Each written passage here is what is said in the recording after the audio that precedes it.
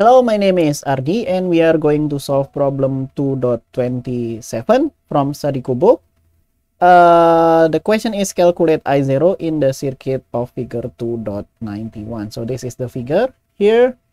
And I want to replace the resistor here by a single resistor, which is seen from here. So let's name this as R equivalent. So what is R equivalent?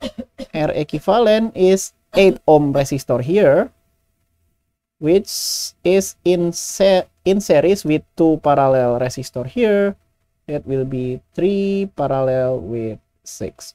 So maybe I just remove the unit first to make calculate calculation easier. So I'll have 8 plus this is equivalent to 3 multiplied by 6 divided by 3 plus 6. So let's do some dirty work. So 8 plus 18 divided by 9. And that will equal to 9 plus, this will be 2. And so R equivalent will be 10 ohm. So we can replace the all of the resistor by a single resistor of 10 ohm so we'll have 10 ohm here and then this one is the voltage source and that will be 10 volt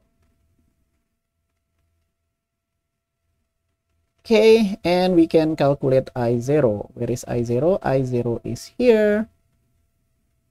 And so i will have i0 will be equal to the voltage which is 10 volt divided by 10 ohm. Or I0 will be equal to 1 ampere and that is the answer that we are looking for which is 1 ampere. So hopefully I did not make any mistakes in the calculation and see you in the next video. Bye bye